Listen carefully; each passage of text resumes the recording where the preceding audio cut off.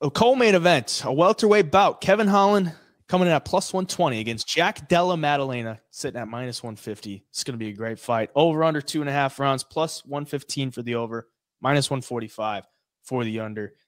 And we're getting uh this is a banger. I mean, Kevin Holland fought like a, le- or a little over a month ago. So I mean he's jumping right back in there. Jack Della just fought fairly recently as well. Uh Holland, 30 years of age. You see the frame there, six foot three for Holland, 81 inch reach. Jack Della 5'11, 73 inch reach for him. I mean, big difference there. Um, both guys great on the feet. Kevin Holland got great stand or great stand up and a great submission game. He's been working a lot on the wrestling. Don't think he's probably gonna have to, you know, use the defensive wrestling here against Jack Della. But Jack Della's hands, that boxing, everyone knows it's it's really slick. He showed a ability to battle back after losing that first round against Bassil Hafez in uh, the fight at the Apex last time out. That was July 15th. So it's been about two months. It's going to be a great fight. And this is probably going to be the question of the week. Are you on Jack Della or are you on Kevin Holland? What are you taking? Yeah, man. Okay, so first I want to stop start off by saying Kevin Holland is the real BMF of the UFC. I don't care what anybody says. I don't care about the losses, nothing. This dude's fought 20 times if you include the contender series fight since 2018. Like that's five years and 20 fights. Nobody else is doing that. He's taken on dudes like Hamzat Chimaev. Um, you know, he's taken all these fights, and some of them they're not really the best style. Uh, stylistically, they're not the best for him. So I, I applaud him on that. He'll fight anybody. He's confident. He's not going to fear Jack Della like a lot of people might going in there, fearing that striking. You know, that jab's hard to deal with. And then for Jack Della, I mean, the last fight that he, that he won against Hafez kind of brought him down to earth a little bit. Like he showed that he's human. He can get taken down. He can, you know, he's defensively, he can get hit a little bit. And, uh, you know, he did show a lot of heart, though, ended up pulling out the win. But I just think against a guy like Holland, who's six foot three compared to Jack's 5'11, like the jab, like your best weapon on the feet is going to be a little harder to land than it normally is. And for Holland, he's a good counter striker. He hits hard. He fights long too. And, you know, as he showed in his last fight, if he gets a hold of the neck, he's super crafty with his chokes, D'Arce chokes, guillotines, um, all of that kind of stuff. So, you know, as far as who I'm going to pick for the fight, I'm going to go with Kevin Holland. I, I think that he's game enough to go in there and just kind of not respect Jack's power. And I think it could frustrate Jack that he's not able to hurt Holland or uh, you know, land that jab as often as he wants to set up his other shots. And I think he'll be on the receiving end of some of those big right hands from Holland too. Because if you look at Holland's last loss against Stephen Wonderboy Thompson, yeah, he broke his hand. The fight gets stopped in the fourth round, but he was doing some work early to Stephen Thompson. Like he he fought really well, and, and Wonderboy is one of the best strikers you know we've seen in the UFC in a long, long time. So Kevin Holland can strike with the best of them.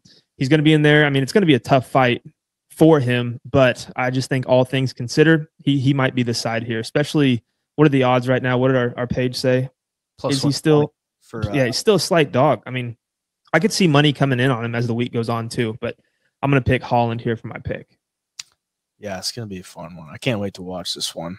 Um, but I'm I think you got to go dog dog or pass yeah. in this one, which is like it's just kind of like a prove it moment for uh, Jack Della Maddalena. Like he's looked so good. He had a, a, a battle of a fight against Bassil Hafez, which all things considered, I mean, he had two weight cuts. It was like his third fight that he had to to pick up. It's just like he's in the states, he wants to fight. Here's a guy in Bassil Hafez who's durable, has great uh, takedowns and grappling, and was able to go in there and just be a dog and and lose a split decision to a tough guy against Jack Della Maddalena. So, I mean, you can't really blame him too much for that.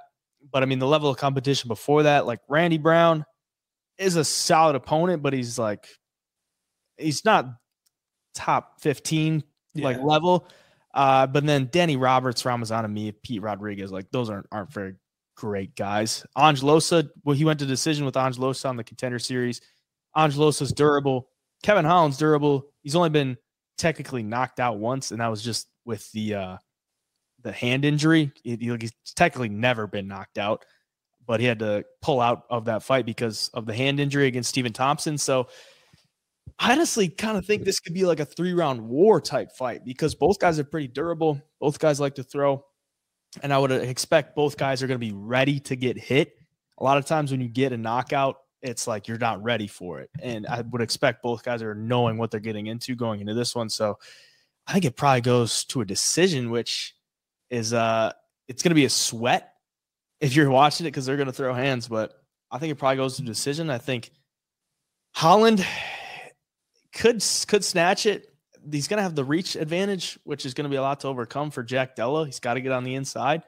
I think Holland's just had that a little bit more experience as the dog it's probably the side that I got to go in this one. So I'll take Holland for the pick.